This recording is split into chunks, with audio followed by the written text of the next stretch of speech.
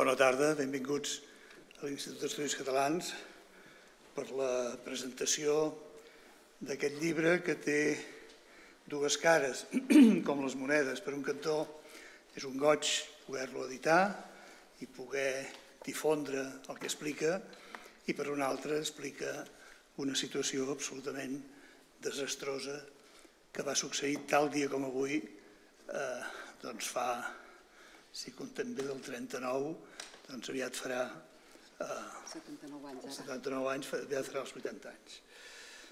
És els núvols confiscats, que és la, la història que explica el mateix Eduard Fonseré de com li va ser arrabassada tota la informació amb tota mena de suports que tenia del Servei Meteorològic de Catalunya i com va ser destituït d'aquest Servei Meteorològic. Eh, Eduard Fonseré, que eh, havia lluitat tota la seva vida com a professor, com a meteoròleg, com a físic, per tenir un servei de meteorologia que va fundar l'Institut al nivell dels millors serveis de meteorologia d'Europa. De, I aquest acte no es pot descriure d'altra manera, els, els autors després ens ho diran, que un acte de venjança, eh, perquè no es tractava només de desmantellar un servei que va funcionar molt bé, eh, sinó que es tractava de la venjança perquè en el seu moment un atles internacional de, núvols havia sortit editat en anglès, en francès i en català, però no en castellà.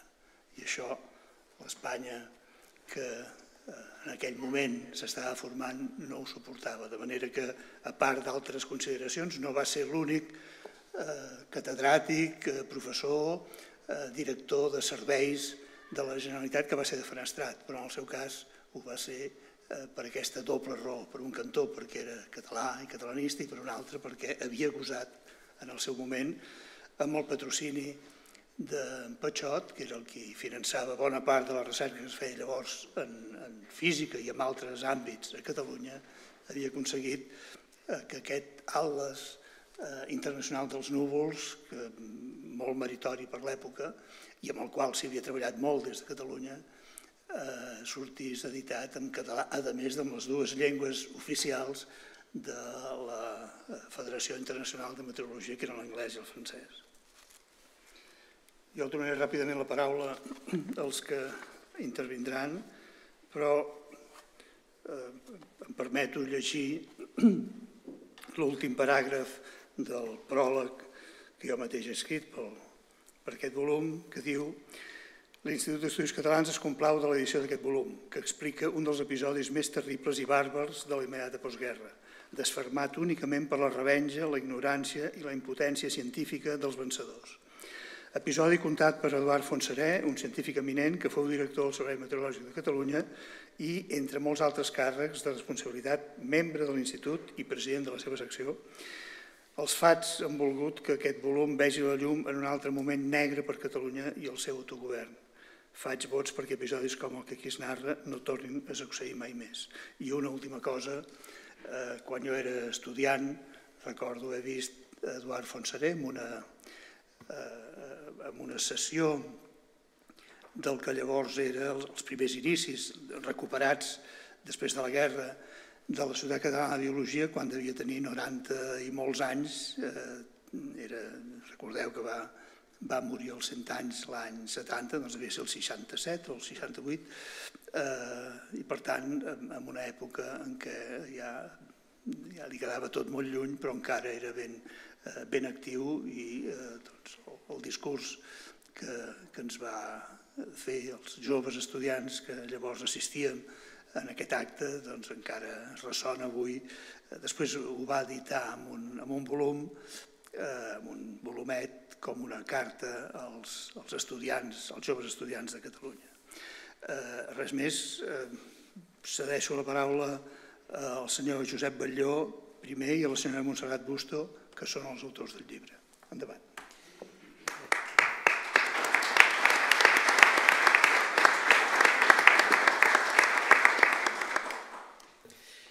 Doncs moltes gràcies, senyor president, eh, senyores i senyors i sobretot amics, perquè veig moltes cares eh, conegudes.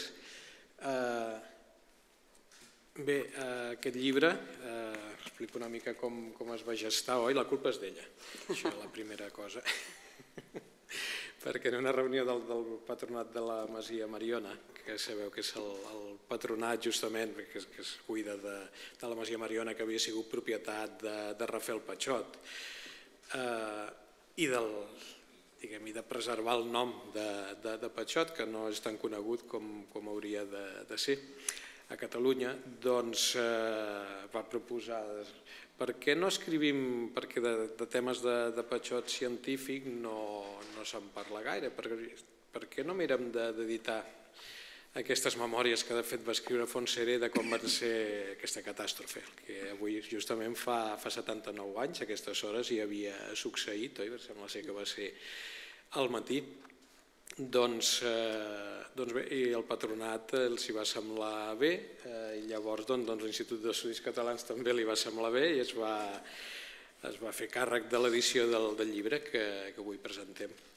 Doncs eh, bé, no, no sé si es pot connectar el, el PowerPoint. Aquest sí, ah, molt bé, perfecte, moltíssimes gràcies. A veure, eh, bé, el llibre es diu el,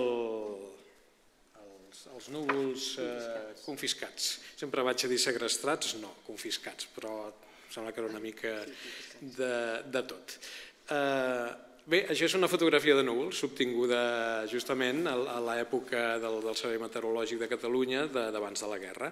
Aquesta fotografia, de fet, que és bastant bonica perquè sembla una, una glòria, oi que diríem? Allò les, a les esglésies es veu així un forat i el cel, que jo pensava que era zenital, però justament quan li vaig trobar la, totes les, les fotografies que es feien tenen una fitxa darrere que explica com es va fer. I resulta que aquesta fotografia no és anital, està tirada pràcticament horitzontal perquè està tirada des del turó de l'home.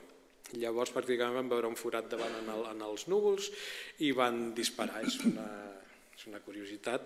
Bé, aquestes eren les, les fotografies que es, que es feien a, a l'època, a veure si... Ah, ara, ui, ja ho he fet massa ràpid. Uh, una altra fotografia, aquesta és de, de Barcelona, està tirada des de l'escola industrial, no, no es, no es veu, quasi no es veu, pensava que potser es veuria, en un ordinador es veu. Eh, aquesta bandera d'aquí estava damunt de l'escola industrial, perdó, de l'escola industrial de l'Hospital Clínic. Eh, veieu la data de la fotografia, 1932, i era l'època de la República, hi havia la senyera. En, en aquell moment, quan es positiva millor la fotografia, es veu. És molt semblant a les fotografies que actualment també moltes vegades ens ensenyen des de l'Observatori Fabra. Oi? Clar, temps, eh, no, encara que hi hagi canvi climàtic no ha canviat tant, ara són en color, que és l'època eren en, en, en blanc i negre. Qui va fer aquesta fotografia, que abans ja ha sortit, era, a veure, ara, uh, era aquest senyor, Josep Pons i Girbau, que era el fotògraf, era un fotògraf professional, que treballava al Servei Meteorològic de Catalunya i va fer moltes de les fotografies. No va ser l'únic, però en va fer moltes. Bé, però de fet, la història aquesta és la història de dos homes, que aquí els teniu, més o menys a l'època. Són les fotografies dels anys 30, Eduard Font, Fontseré i Rafael Patxot i, i Jubert. Eren dues persones eh, d'empenta.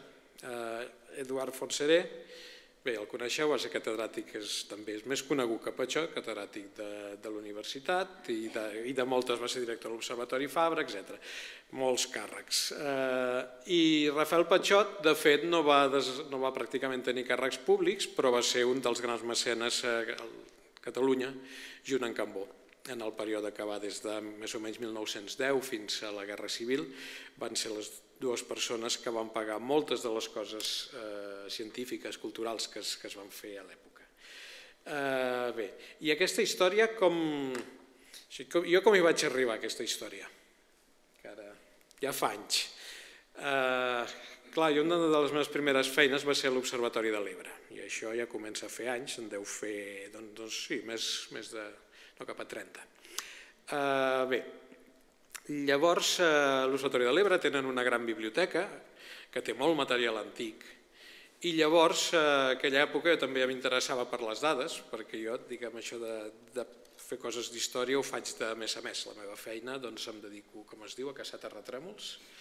He fet treball a l'Institut Cartogràfic i, i Geològic i formo part de l'unitat de, de sismologia.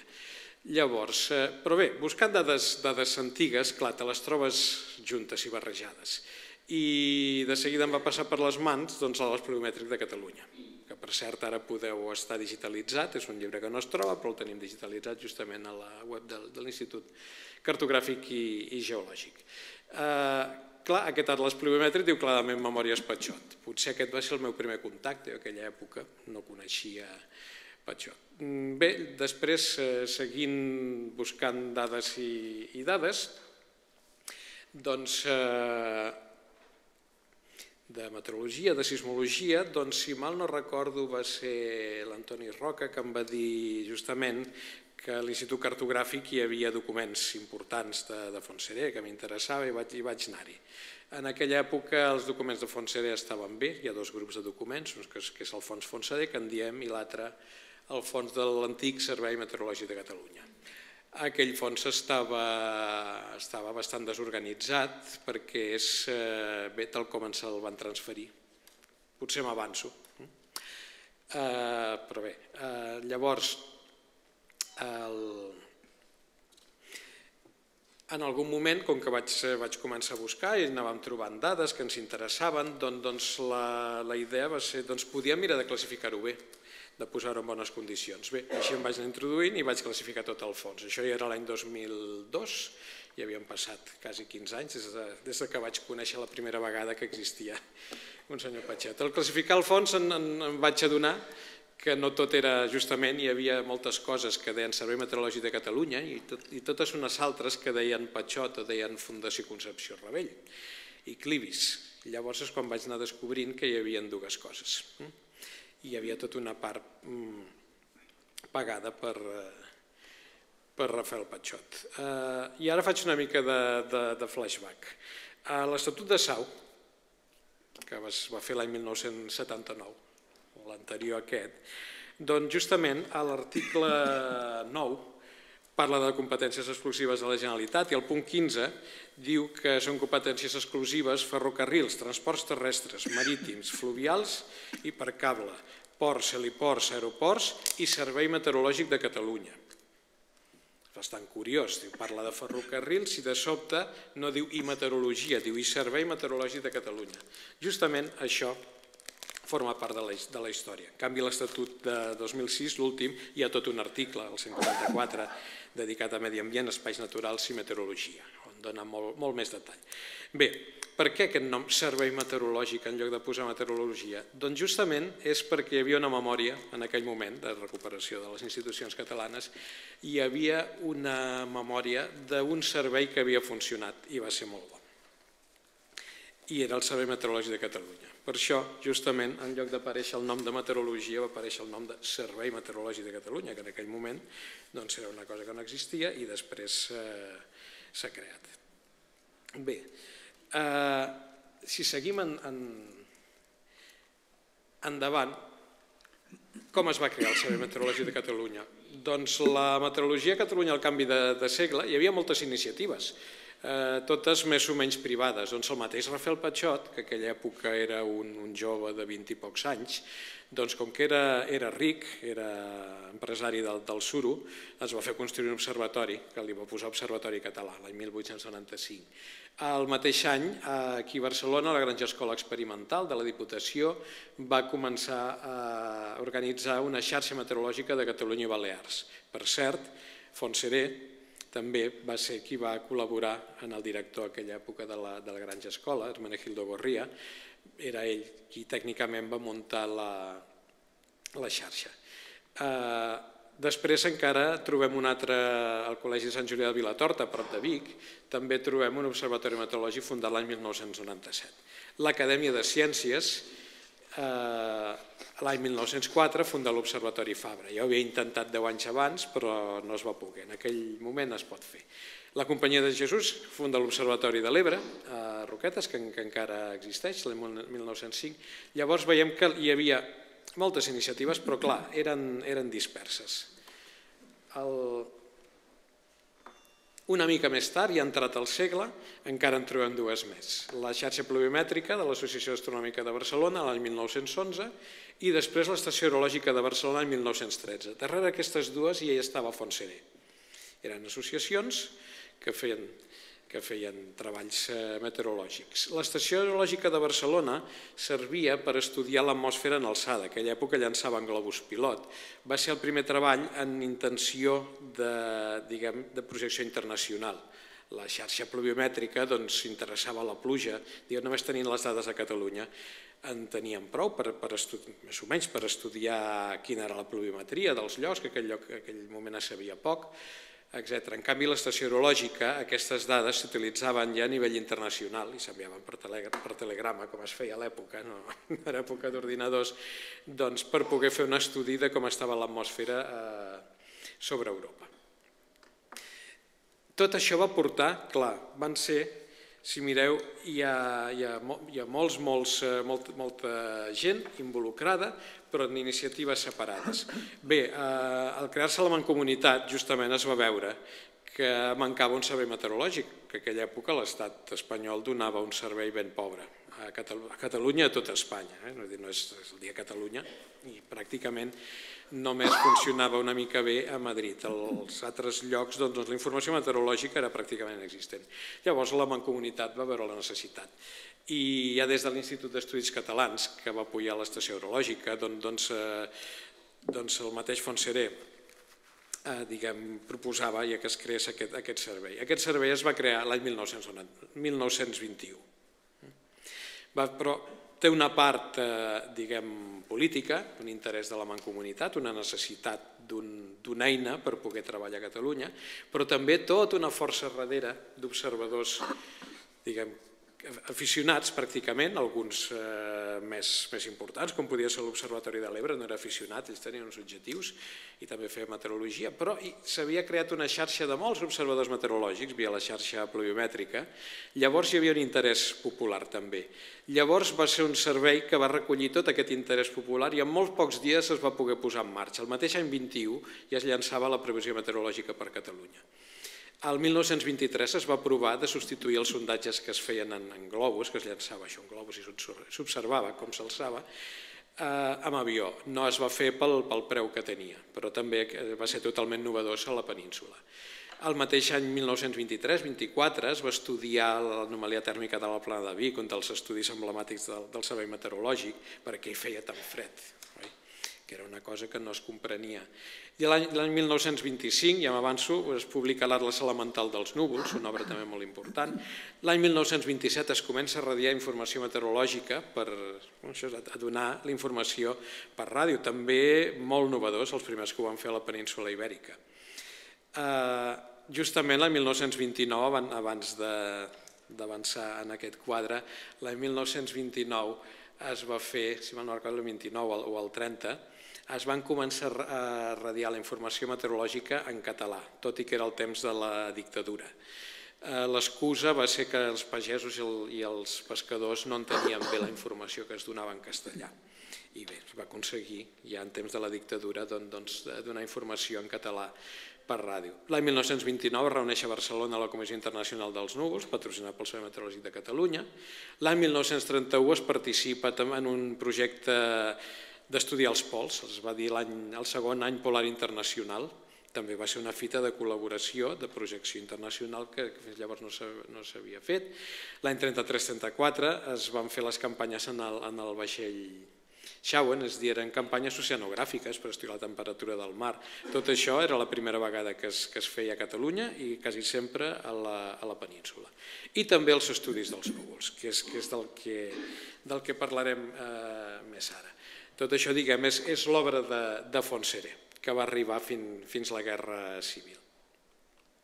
En canvi de, de Patxot, que és menys conegut, ja hem dit, Patxot es va fer un observatori que no era, no era una cosa, diguem, per dir, no, un observatori així d'un aficionat, eh, com que se'l podia pagar, es va fer un observatori a Sant Feliu de Guíxols, aquí teniu una, una imatge, on també es veu la cúpula del telescopi, però per exemple aquí veiem, a veure si el senyalo bé, veiem dos abrics en instruments meteorològics. També veiem un, un pluviògraf, aquí a la cantonada i fins i tot també veiem un anemògraf, aquella època també era l'únic instrument d'aquest tipus, era un anemògraf molt bo, a l'Observatori Fabra en veureu un d'igual. Però aquell moment quan es va instal·lar també era novetat a tota la, a tota la península. Llavors, eh, ell es va posar a fer estudis meteorològics, el seu primer interès era més l'astronomia, però d'alguna manera es va anar aficionant a la meteorologia i ja feia, atenció, per exemple, aquest quadre, aquest full de l'any 1898, ja feia registre de núvols. I aquí mostrava l'interès dels núvols. Per què? El, els núvols donen informació de la dinàmica de l'atmosfera. Una època que només teníem mesures a terra, doncs eh, això, es llançaven globus i es tenia una mínima informació de com circulava l'aire, o s'observava els núvols, els núvols circulen a diferent alçada i donen informació. Llavors, Patxot estava interessat en la dinàmica. Ell mateix, l'any 1908, publica aquest mapa que explica la situació de pluges màximes a Catalunya. Què està explicant? Està explicant la gota freda. Simplement aquí veieu la baixa posada davant de la costa, és el que va passar ara fa uns, fa uns pocs dies. Eh, i, el, i el vent, ap, perdó, no havia d'haver-ho fet així, ara. El vent gira i el vent humit de mar va, va tot contra, contra la costa i es produeixen les, són els episodis aquests de, de pluja que tenim. Molt bé. Ho dic perquè veieu que Patxot, encara que ell oficialment va, va dedicar-se professionalment a la meteorologia, a dir-li aficionat, eh, diguem, era una persona en, en una cultura eh, impressionant i, i era una capacitat de treball també impressionant. Llavors, com, com que la meteorologia era, era una de les seves aficions, doncs, doncs realment va progressar molt. De Patxot és una persona molt poc coneguda i, per exemple, trobareu al llibre, que hi ha un, hi ha un altre escrit de, de Colomer Ribot, que diu de Patxot que va ser una personalitat única bigarrada, un home polifacètic format a partir dels múltiples interessos culturals, humanístics i científics, independent i un rar exemplar com no hi ha avui dia o és molt difícil de trobar. És ben cert. Era una personalitat eh, realment eh, molt única. Ell mateix, l'any 1909, en una carta que conservem a l'Institut Cartogràfic i Geològic, es defineix com arxiindependent, baix tot punt de vista, intel·lectual, moral i cívic també una persona que tenia un criteri de com havien de ser les coses i no n'hi havia un altre. Ell mateix es, qualificava de tramuntanenc, com que era de Sant Feliu de Guíxols, i també pel que coneixem realment eh, ho era bastant. És allò que explica eh, Josep Pla del, dels, dels de l'Empordà, que tot va bé fins que un dia els toca un cop de tramuntana, doncs bé, és, és això. De fet, sembla, jo clar, no l'he conegut, però pel que veiem sembla que més valia tenir-lo de cara que d'aquella altra manera que se'l pot tenir. Eh, llavors, ell també, una, una altra definició, això és molt curiós, es definia com home, com home del segle passat, aquella època, que estem parlant de l'any 10, parlava de l'any 1000, del segle XIX, però no perquè sentís antiquat, sinó perquè justament Clar, l'any 1914 va haver-hi la, la Primera Guerra Mundial i després, fruit d'aquesta Guerra Mundial, eh, comencen a haver-hi els règims totalitaris a Europa. Primer a, a, a Rússia, al cap de pocs anys, s'instal·la un règim totalitari, però, de, però després a Itàlia, tots els països van, van caient, a Alemanya, Hongria, etc etc. Polònia també. Llavors, ell que era una persona, justament ja ho deia, independent i que defensava, diguem, en aquest sentit, políticament seria un liberal d'aquests, liberal inglès, en podíem dir, que l'Estat no li agradava per res, llavors per ell el, els, els sistemes dictatorials representaven una força material arbitrària, però sense cap consciència i que no pot arribar al camp de la intel·ligència. I realment era una persona amb unes idees eh, molt, molt clares. Sent ric com era, ell personalment diguem, tenia una vida molt, molt simple, no es privava de res, però tampoc, eh, justament, com que el, el seu interès eren els estudis, doncs s'hi dedicava moltes hores. Eh, I tota la seva vida, eh, gran part del capital que va, que va fer, que, que, va, que va obtenir el gastava en, en obres principalment culturals, algunes també més, més socials, però ell, eh, el seu interès principal era la cultura. Eh, llavors, eh, cap als anys 30, per exemple, Gaciel, que va ser director de La Vanguardia, també era de Sant Feliu, es va dir que era pro Patxot, diu que quan es contempla la tenaç i silenciosa obra protectora del senyor Patxot, es comprèn el veritable valor dels diners i la seva enorme potència espiritual. Bé, Llavors, eh, si, i no m'he d'allargar gaire, gaire més, eh, justament el, el, a l'any 19, eh, Patxot eh, té una desgràcia familiar, mor la, seva, mor la seva filla i mor la seva cunyada, les dues d'allò que es va dir la, la grip espanyola, aquella passa de grip que va haver-hi després de la Primera Guerra Mundial que va matar tanta gent. Ell sent ric, resulta que la seva cunyada encara era una família més rica i el va deixar de marmarsó. A més, ja li va posar, i ell ja estava interessat, que dediqués aquesta fortuna a obres culturals. Llavors, ell comença a dirigir-se en diferents temes. Es comencen els estudis de la Masia Catalana, que va pagar Patxot. Es comencen els estudis del, del, del cançoner popular de Catalunya, que va pagar ell. I ell, molt interessat en la meteorologia, es dirigeix a, a Fontseré, que ja coneixia de feia uns anys, i li demana aquesta carta, es veu molt, molt millor aquí, que a la pantalla es veu molt millor que, que aquí en aquesta pantalleta petita. Fixeu-vos a, a, la, a la part de baix, és, aquest, tots aquests documents es conserven, ja, ja ho veieu, a la, a la, a la cartoteca, si no, no cal, ja, ja es deu, és molt bé.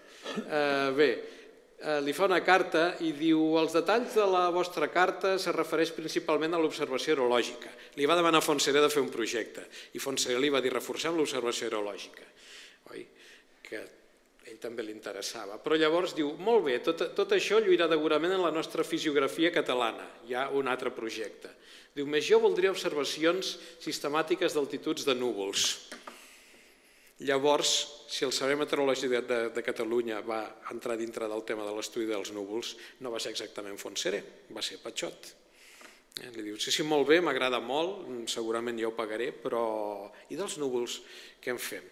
Eh, I si seguim endavant, quan, quan es passa el full, aquí també es, es veu... Eh, bé, diu, bé, li parla de com vol fer les observacions i diu que no podríeu posar-me aquesta qüestió en prosa, que és aquest, aquests termes de i quin nom té això, o com es diu, de posar-ho en prosa, són uns termes molt, molt clàssics a Catalunya que quan es llegeixen papers o a vegades ho hem sentit moltes vegades. És curiós que li demana fes-me un pressupost a veure com, com va.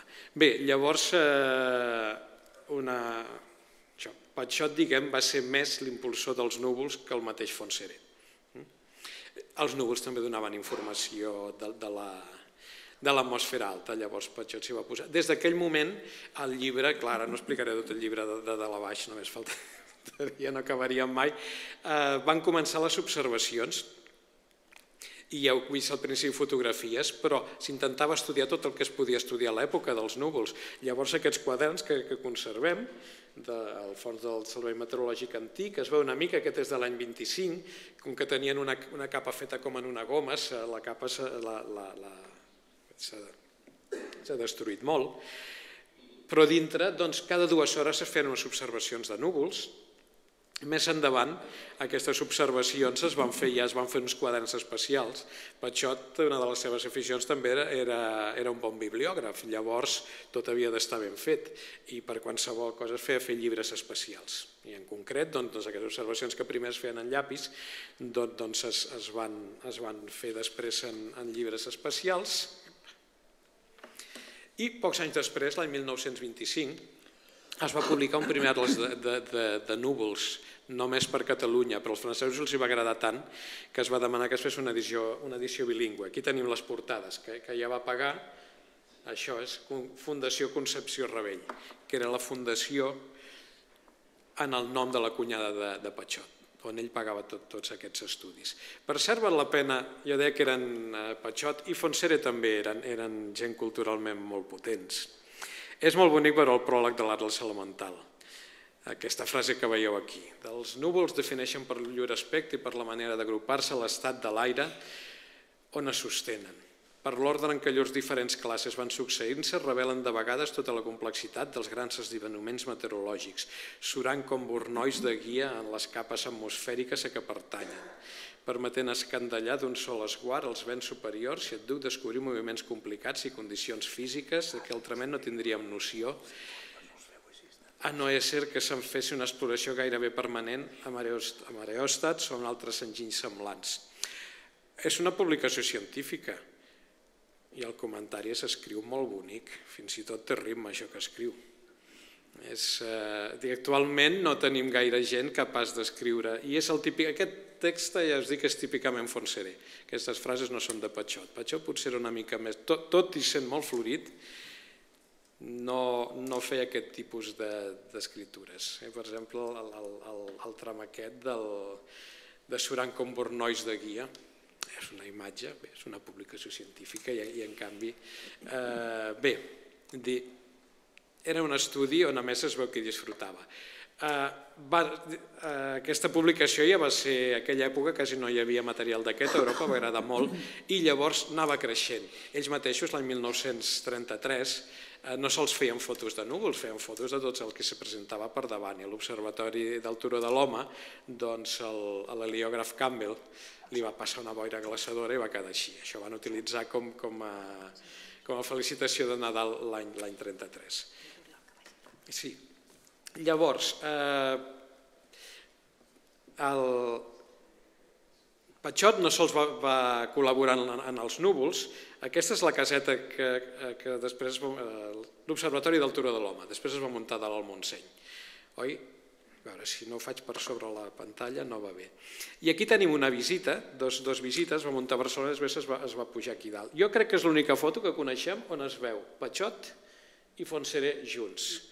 I per cert aquest és Ventura Gasol. Les altres dues persones no, no els coneixo. Si no els coneix, que m'ho digui, sisplau.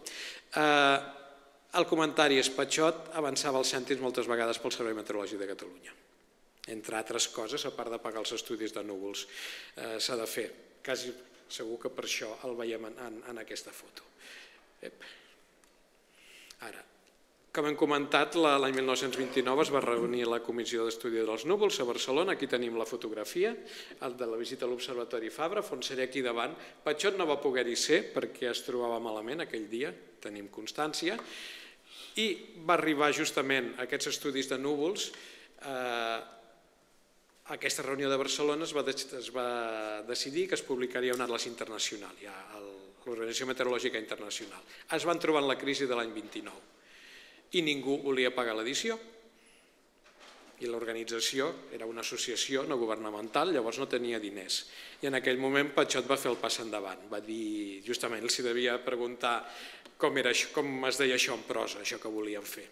I llavors eh, ell va posar 150.000 francs. Què vol dir 150.000 francs en aquella època? Pràcticament pagava l'edició completa de l'Atlas. Llavors només va posar una condició, que es feien les tres llengües internacionals de, de l'època, que eren l'anglès, el francès i l'alemany, i que es feia en català oficial, eh, en el segell de l'Organització Mundial de Meteorològica. Aquí, aquí tenim les quatre portades dels atlas. Clar, eh, us poso la francesa, per no dir, posem la catalana, no, és que la catalana l'hauran fet especial, no, perquè veieu, totes les edicions, al final del pròleg, donen moltíssimes gràcies a Rafael Patxot, clar, no faltava més, ell s'hi va pagar, els va treure... Tenim l'obra, diguem, hem fet tot l'estudi que volíem fer i no es pot publicar, què fem ara? Mm?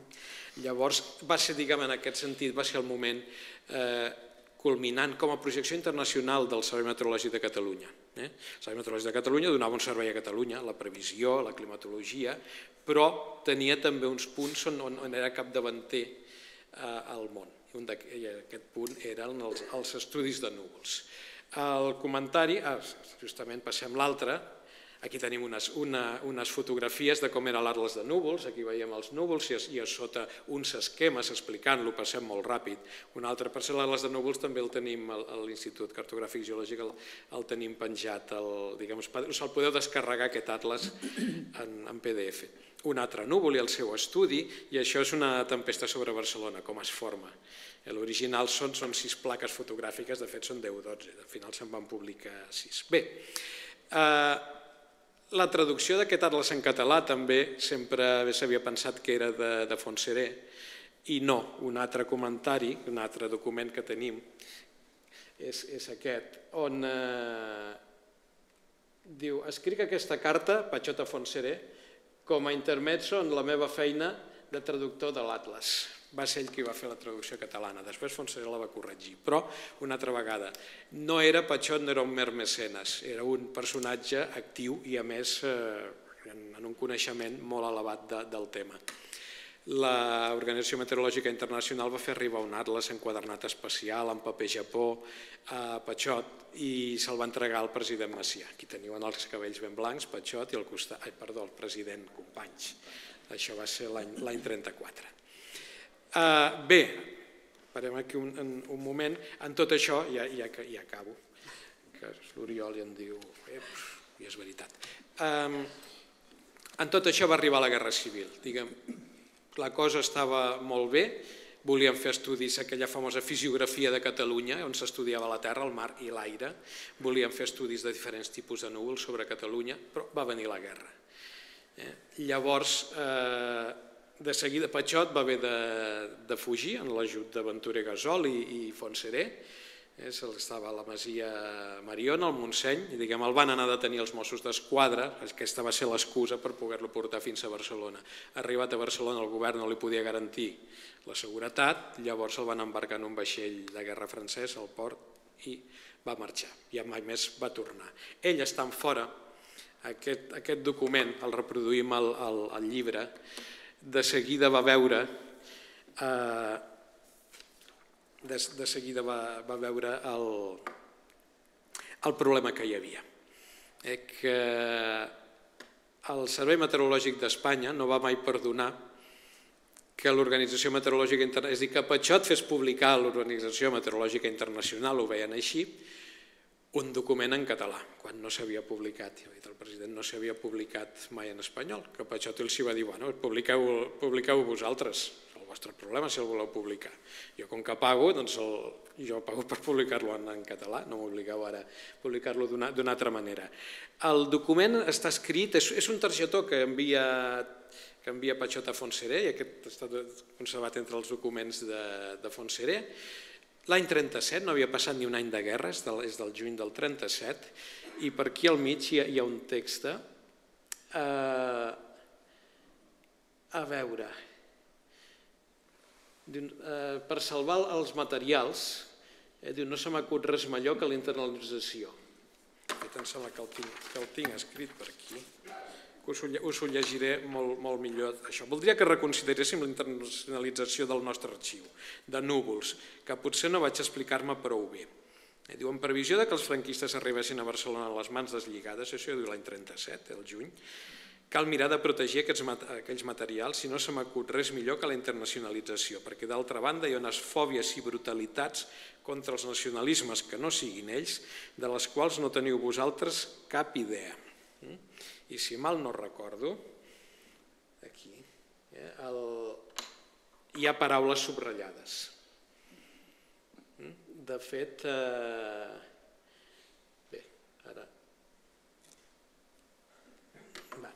El... Aquestes paraules subratllades són de l'original. Justament m'ho estan mirant, dic, us va subratllar després Fonsere? No, venen a l'original, estan fets a la mateixa màquina d'escriure.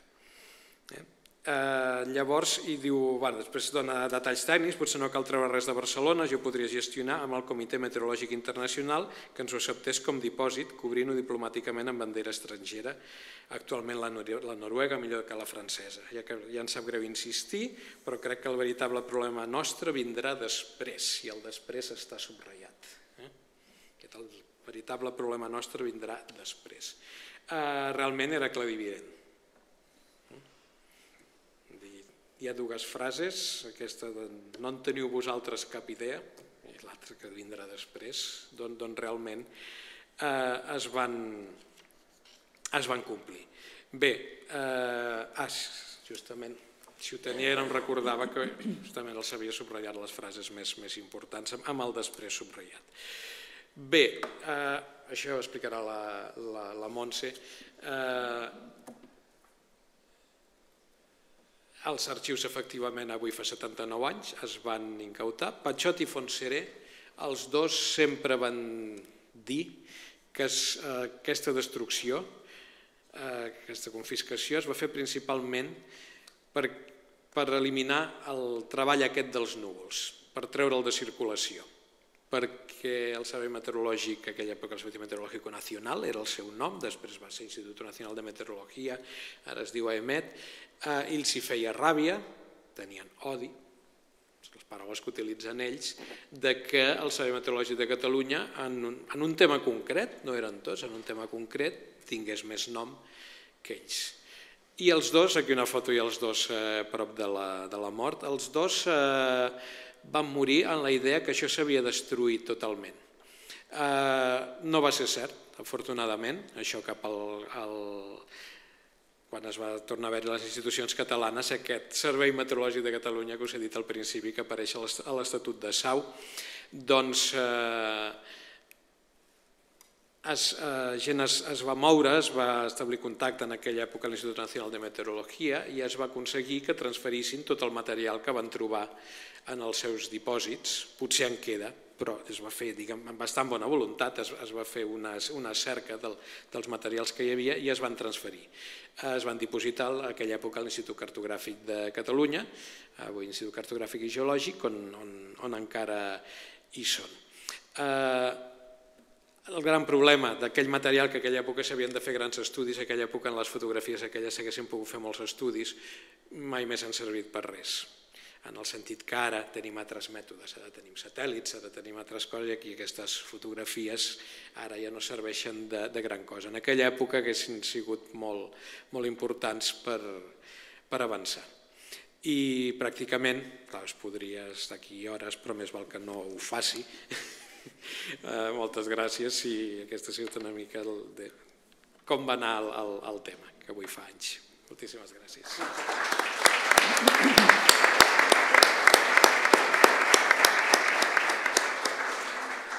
Endavant. President, director, companys meteoròlegs, observadors, serianencs, amics en general, moltes gràcies per estar aquí i moltes gràcies per acompanyar-nos aquesta tarda. Aviam, la, eh, tinc una petita presentació preparada també per mostrar-vos quatre imatges del, de la meva part, que ha estat justament la transcripció dels arxius. És una transcripció que, eh, on Fonseré diu que els fets són certs i desgraciadament prou vius en la memòria tot i que no, no ho va escriure el dia després, sinó que ho va escriure quan Patxot li va demanar, doncs Fonseré diu que això, que són ben vius a la memòria. De vegades l'escriptura és fàcil, és, és, és clara, és, és simple d'entendre. De vegades quan explica moments més complicats es fa més difícil, tot s'apreta més. I de vegades és difícil també estructurar les idees, però realment és un document emocional, és emocionant, que explica uh, un robatori i explica també fets dels últims anys, de l'últim any de la guerra. I parla d'això, de lo que el, el Josep ha explicat, el, sobretot de l'arxiu de núvols, que consta de les imatges de núvols, de les fitxes de núvols, on explicava les característiques de cada imatge que prenien o de cada grup d'imatges. Parla també Eh, de, de com havien estat preses aquestes imatges, unes especials que prenien des de dos punts de forma simultània alhora, des de la torre de l'Escola Industrial, que és on estava el Servei Meteorològic de Catalunya, i des de la torre, des d'una torre del Plaça Urquineona. Si us hi fixeu en aquesta imatge, porten un micròfon enganxat aquí com si fos un collaret, i és que tenien una línia de ràdio dedicada només a això i es posaven d'acord i prenien la imatge alhora. D'aquesta forma tenien fotografies estereogràfiques i podien estudiar característiques específiques del núvol, l'altitud, el volum, també treien la velocitat, el moviment i altres paràmetres físics que eren molt innovadors a aquella època. De fet, era el primer lloc que es feia això.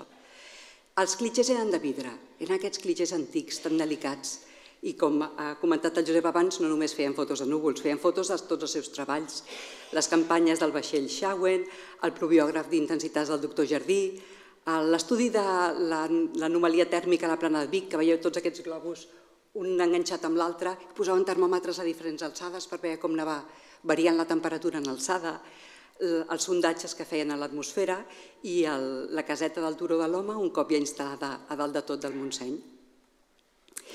L'any 1929 es va fer aquí una reunió de núvols, perquè la Comissió Internacional d'Estudi de Núvols els hi va agradar tant la feina que feien al Servei Meteorològic de Catalunya que van convidar tant a Patxot com el doctor Fontseré a, formar part d'aquesta comissió. Llavors aquí a Barcelona es va fer la tria final de les imatges que hi haurien en aquest atles l'Atlas Internacional de Núvols, i això és una, com tenien preparada l'exposició internacional a les dependències de l'Escola Industrial. Hi ha una anècdota que no surt al llibre, però Pachot la, la relata en les seves memòries, que explica que el Servicio Meteorológico Nacional no estava convidat, i perquè ell no estava convidat a dins d'aquesta reunió, perquè era la Comissió Internacional només d'Estudi de Núvols, però es van presentar igualment sense dir res i van enganxar les seves imatges de núvols amb tan poca traça que un cumulonimbus preciós el van penjar del revés i llavors el, la gent dels serveis meteorològics quan arribava allà es posava a riure, així una mica baixet, menys els francesos, que quan van arribar es van indignar perquè eren les seves imatges que a més havien estat mal penjades. Llavors el, el, el president de la Comissió Internacional els va demanar que si us plau les traguessin i, que, i els va instar a demanar, a demanar disculpes. Clar, això no els hi va sentar gens bé i suposo que aquí començaria tot. I hem vist l'atlas que van fer, que va estar publicat amb les tres llengües i a sobre amb la catalana, però a part de tot això de núvols hi ha, hi ha relats emocionants de la guerra, com per exemple, jo també us, us llegiré cinc frases només. Eh?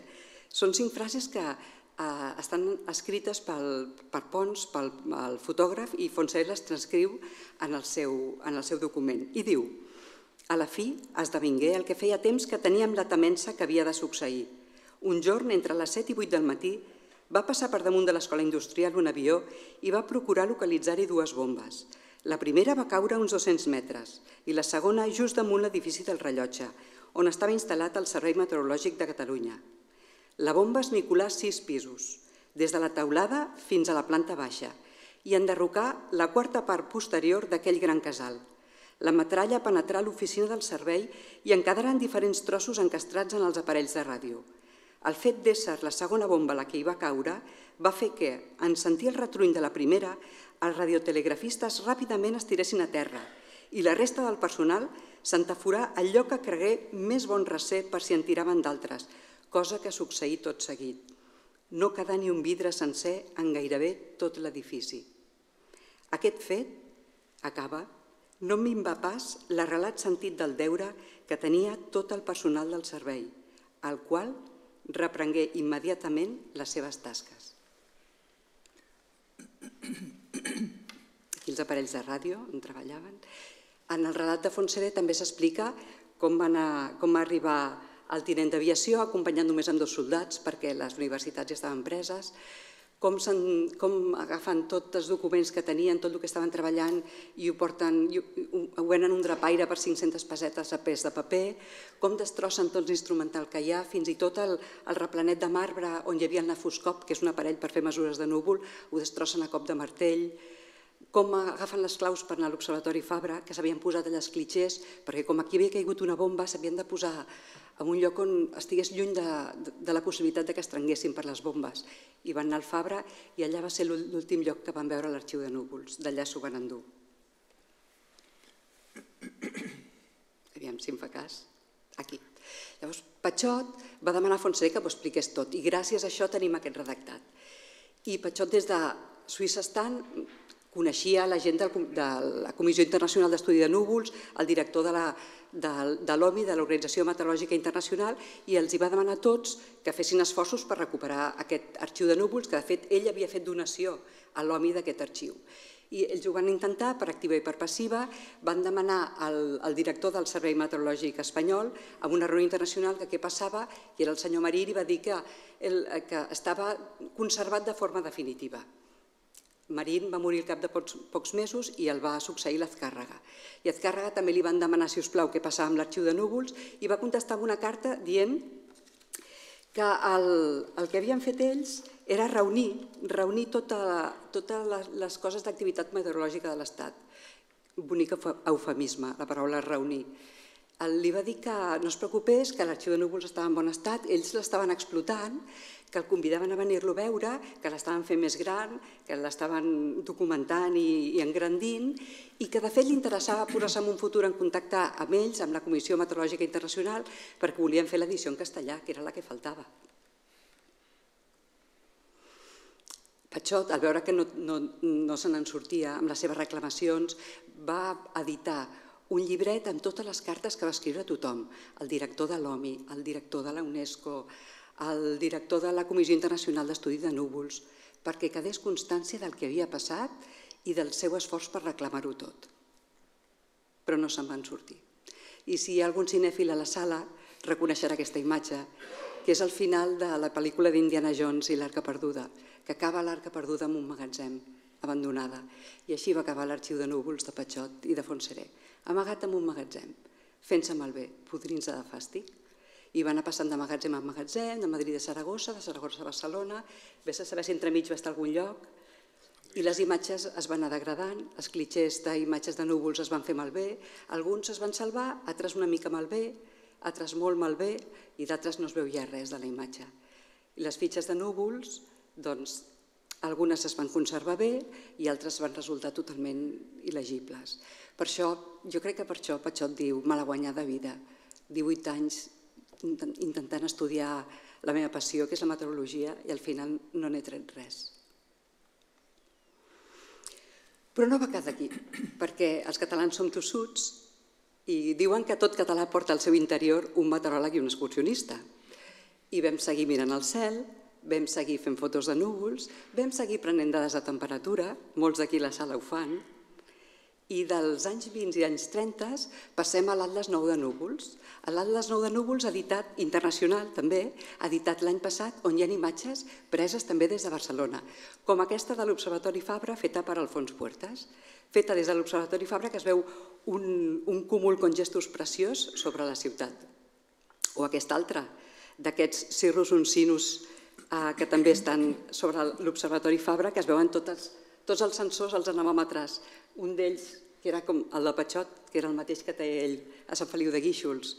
I de fet aquestes dues imatges que han aparegut a l'Atlas Internacional de Núvols estan també a la portada d'aquest llibre que vostès poden tenir entre les mans perquè eh, és un llibre que parla del fons de núvol antic, però que es lliga amb el present, amb, el, amb els núvols actuals que també s'han fet des de Barcelona, amb les fotos de núvols actuals. I per lligar-ho amb, amb el comentari que ha fet vostè, d'aquell discurs de Fontseré de l'any 68, m'agradaria acabar amb unes paraules justament d'aquest discurs, que quan la vaig llegir em va agradar moltíssim. Fontseré va dir, dos anys abans de morir, el 68, va dir «Qualsevol que sigui el lloc on el vostre destí us col·loqui, continuar sent lloc que d'estudiants us havíeu proposat d'ésser no depèn sinó de vosaltres mateixos. Tard o d'hora formareu part de les seleccions que crearan el futur de Catalunya. Quan us hi veureu segurs, no oblideu la triple missió que hi teniu encomanada. Primer, la defensa de la vostra llengua. Segon, la llibertat de dirigir la nostra manera les nostres institucions públiques. Tercer, el progrés material i cultural de Catalunya, a fi de fer-ne un poble d'alta categoria social. I ja per acabar, voldria acomiadar-me amb una última imatge, que és l'última de les tres fotos que surt a la portada, amb la frase de Fontsereda, Catalunya dins el món i progressant en tot el món ha de ser la vostra divisa. Moltes gràcies a tots.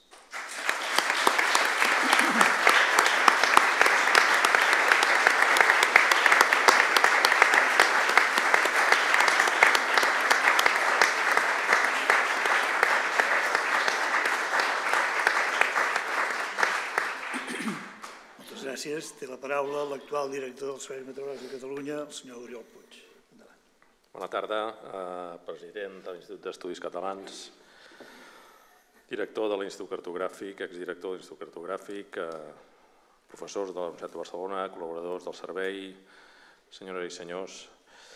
Bé, eh, em toca a mi, eh, en aquest cas, cloure aquest acte, eh, que abans que res jo volia agrair sobretot la feina que ha fet eh, la Montse i en Josep per eh, fer aquesta recopilació i fer aquesta, aquest document que realment doncs, traspua eh, emocions i sensacions.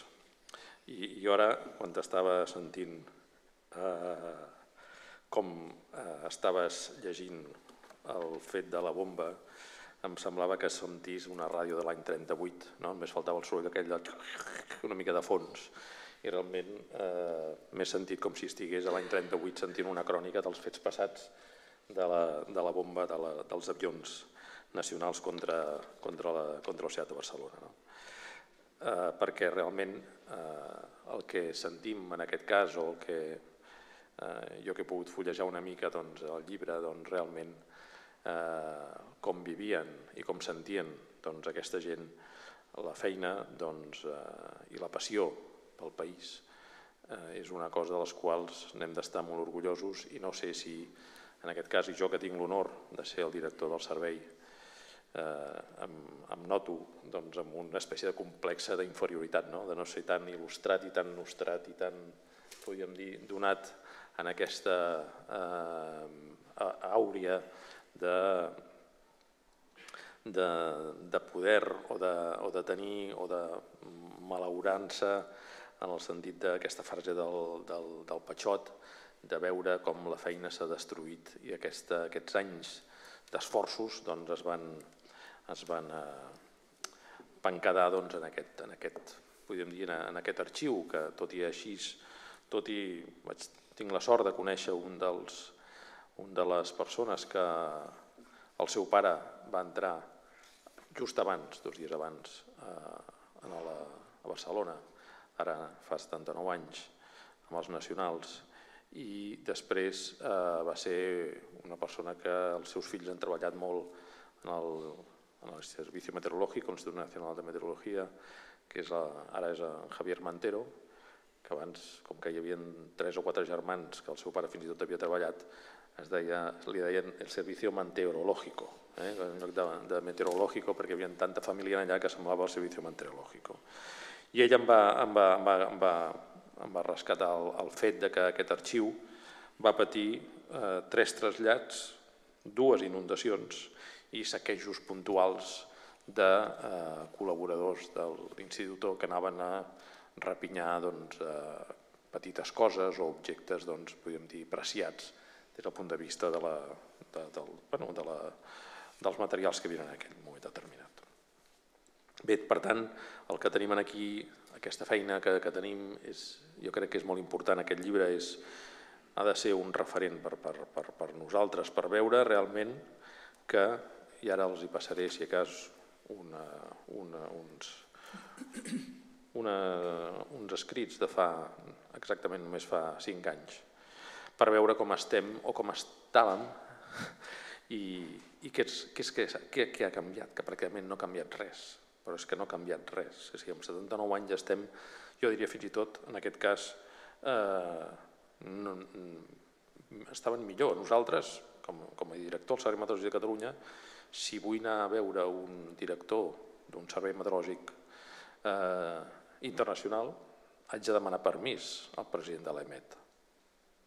Això el senyor Fontseré no, no ho feia ni, i tenia, suposo, les portes obertes en altres, en altres llocs tenim limitacions amb les dades eh, del Centre Europeu de Predicció a mig termini, que són dades que han d'estar a disponibilitat de tots els organismes governamentals en relació a la meteorologia. Només els he posat aquests dos exemples, però vull dir que eh, això ho patim i, i a més la dinàmica no, no és a millor. Si, si em posa, si plau el, eh, el document, el PDF que hi havia, això mateix. Bé, això és un document de l'any 2013, o sigui, per tant no fa ni cinc anys que, que, que està publicat. Això, si no es recorden vostès malament, una cosa que es deia CORA, que era la Coordinació de la Reforma de l'Administració, i en el qual això eren hipòtesis, però bueno, hipòtesis que després no es van dur a terme, però era com una racionalització. No? I tranquil·lament doncs la fitxa, eh, si veure en aquest segon quadrat, no? a dalt posa EMET com a agència de tal, tal, però sota eh, posa bueno, com, com ells racionalitzarien el Servei Meteorològic de Catalunya. No? Eh, bueno, primer de tot, eh, posa, nosaltres sabeu doncs, que tenim les infraestructures que tenim, i eh, se'ns acusa de duplicitats, etc etc. Però el que és curiós és que diuen, primer de tot, diu supressió de dos radars, el de Barcelona i Tarragona. Ara, després integren dos radars, o sigui, per tant, de duplicitats tampoc deuen estar tan, tan malament les coses, no? O la supressió de la xarxa de llamps, o la supressió de l'estació de radiosondatge, quan entre Mallorca i Saragossa no hi ha cap radiosondatge, és la segona ciutat més important del país, d'Espanya, en aquest cas, no? Eh, en relació a les estacions meteorològiques, però el que és bo és supressió de l'organització de l'SMC, però això es fa només fa cinc anys, això, eh? no, no fa cinc anys, o sigui que estem... això és una espècie d'amenaça que, que, que si ho arriben a aplicar no sé on estaríem ara. No? O sigui, per tant, en aquest cas, eh, aquest seria una situació en el qual doncs, estem eh, amenaçats també d'aquesta manera, per tant, aquest, podríem dir, aquest odi, entre cometes, o aquesta, en català o en castellà es diu ensenyamiento, no? no sé si en català es diu ensenyament o, o aquesta, aquesta mala força empresa, doncs eh, seria més o menys el trasllat en aquest d'allò.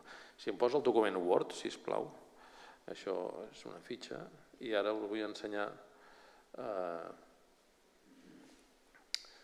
eh, un altre document en el qual eh, va haver-hi una...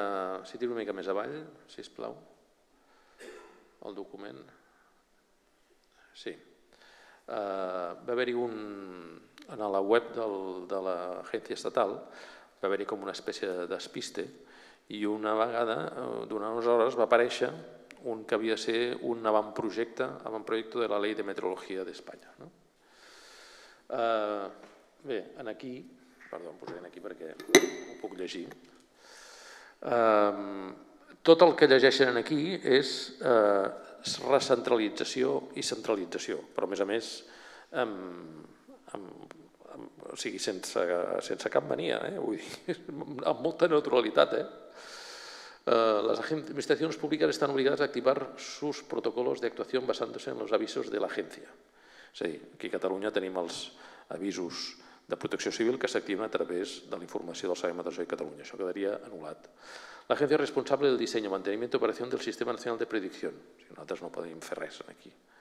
Eh, es l'única fuente oficial para emitir certificaciones e informes sobre condiciones meteorológicas y climatológicas. Tampoc podem emetre cap certificat. La fuente oficial autorizada para la vigilancia y predicción del clima. Tampoc podem fer res. Proveedor exclusivo de los servicios meteorológicos de apoyo a la navegación aérea en el espacio aéreo español.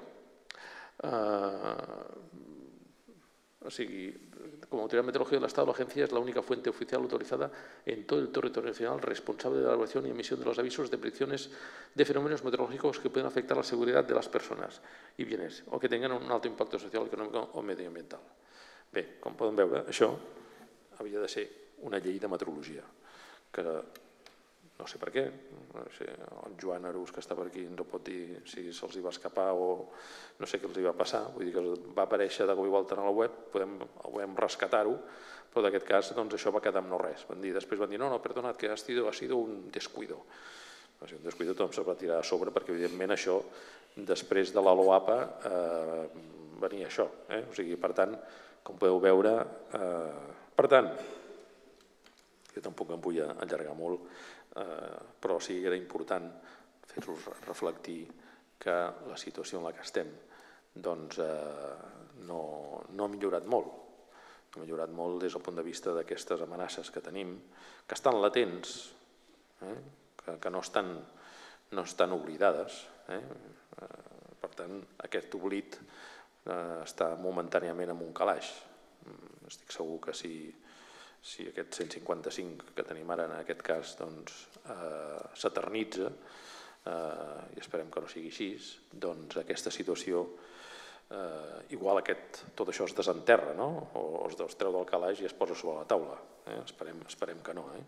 perquè com els recordo que posava supressió del Servei Meteorològic de Catalunya, eh? vull dir, amb, amb lletra ben clara, eh? jo sé llegir castellà encara, eh? per tant no m'estic equivocant.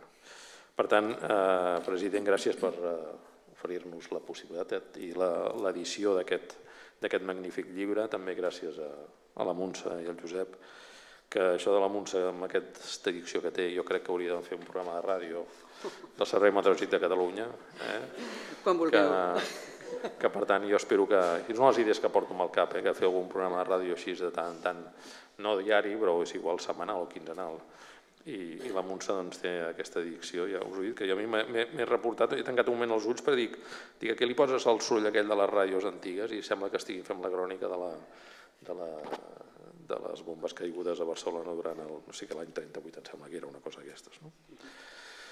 I bueno, fer-los i veure doncs, que, que malauradament la situació com a, com a director del Servei Meteorològic de Catalunya també també estem limitats per moltes coses, eh? I, i, i no, no pel 155, sinó també per la filosofia i el, concepte de l'Estat en relació a Catalunya, que també reflecteix fins i tot amb el tema de la meteorologia, malauradament. Per tant, moltes gràcies, president, Josep Montserrat, i gràcies a vostès per l'assistència. Bona tarda.